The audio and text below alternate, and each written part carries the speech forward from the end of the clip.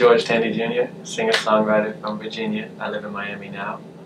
I just love doing music. I'm a kid at the keyboard, love music and people. Son of two musicians, this Florida-based songwriter, singer, and multi-instrumentalist. His first single, I don't even have to say the name, but it is climbing up the Billboard charts. Ladies and gentlemen, won't you please make some noise for George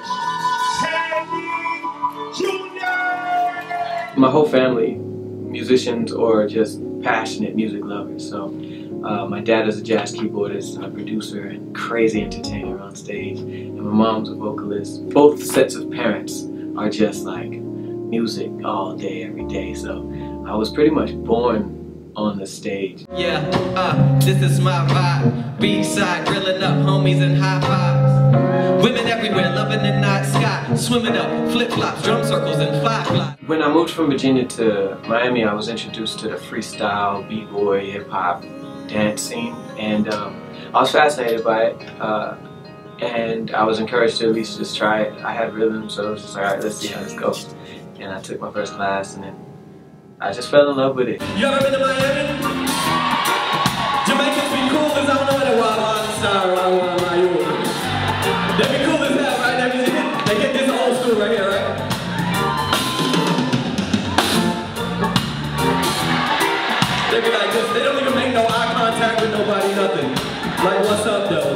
They come in like this.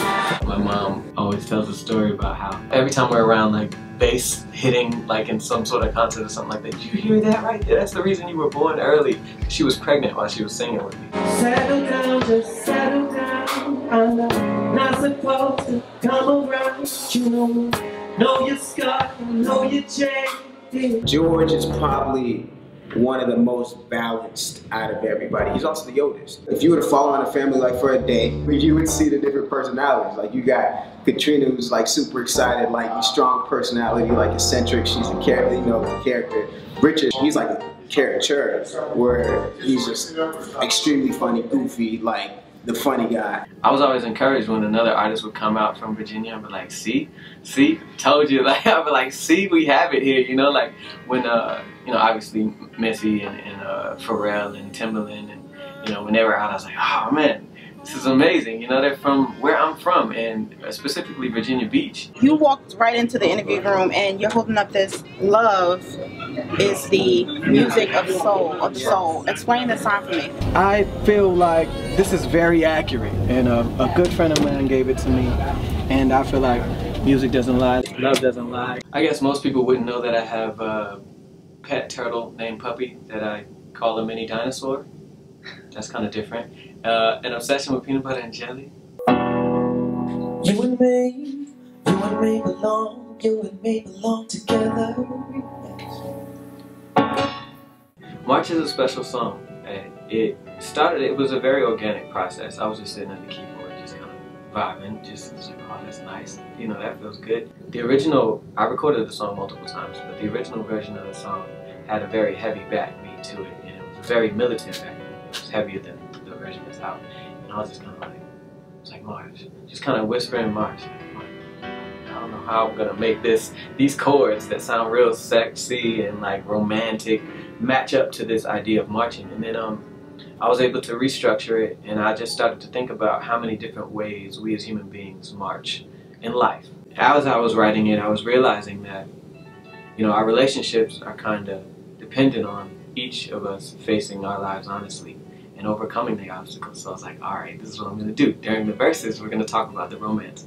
During the chorus, I'm going to make it very kind of uh, open so that anybody can apply any situation to it.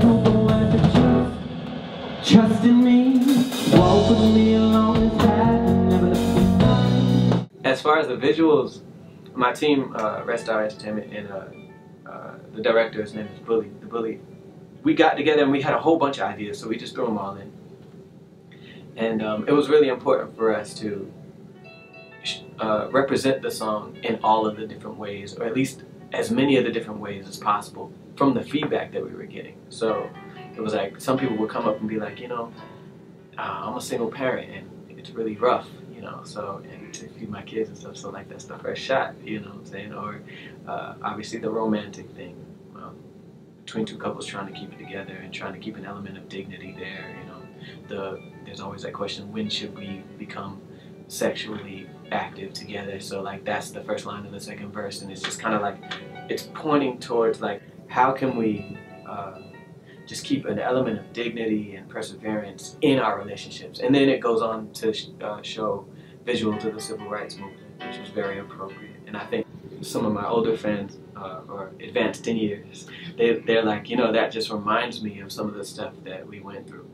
I'm happy that it turned out the way that it did. It, it kind of covers all bases. It was my first time at Essence, period. So for my first time being there, being asked to perform, that was an honor within itself. And then just the energy from the crowd, like the crowd was, even the people that weren't familiar with me. There's so many people there. You're gonna end up by a stage no matter where you walk, stumble. So they stumbled by my stage. It was this kid, you know what I'm saying? And then the just the energy that I was getting as the as the show went along was just. I call this alternative because uh, I'm acknowledging the soul and the R&B elements of the music and the jazz and all that stuff that I that I'm influenced by, but I'm also leaving myself a little space to experiment with different sounds and stuff like that, which I think from an artistic perspective is healthy. It's good music. It's meaningful lyrics. It's uh, chord progressions. I think maybe for a little while that was missing. You know, meaningful lyrics, chord progressions, uh, impactful music that takes you on a journey, rises and falls and silences. The stuff that I that I'm moved by. So since I'm the new kid, I guess the industry's been missing what I'm here to contribute. I will do you right. I kind of feel like if it makes a sound, I can figure it out. Um, I was that kid who was beating on the table and and stuff like that, getting on everybody's nerves. So uh, I played keyboard. I just picked up the acoustic guitar. When I first decided to be a solo artist, I think my approach is going to have to be one that feels timeless. Because I'm not really sure when this is all going to pop off for me because of what I'm trying to do. I'm telling you, it's just the beginning. I got so much music in me. Is just the beginning.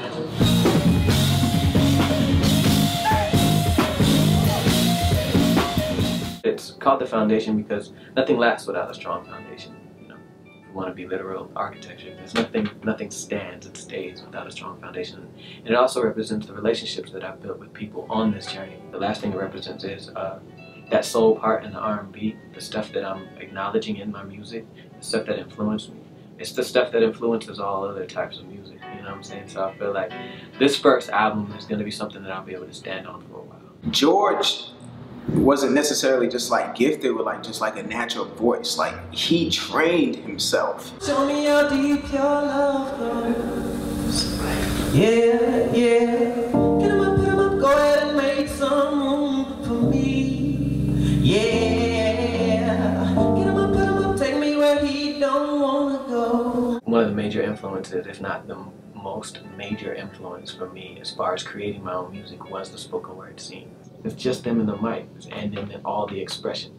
And um, the pitches and their delivery felt like melody to me. So I was like, if I can take some of that and my obsession with chords and, and uh, rhythms and put it together, then I might have something. And I think that's what I've done here.